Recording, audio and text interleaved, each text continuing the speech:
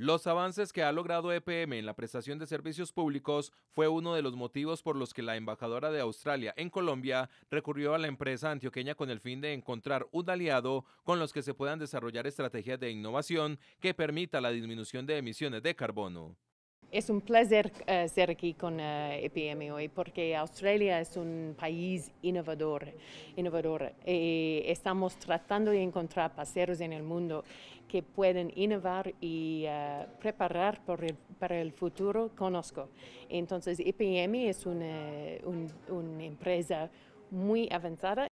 según Thompson, este acercamiento también se da pensando en futuras inversiones de Australia que garanticen mejoras en la calidad del aire de este país.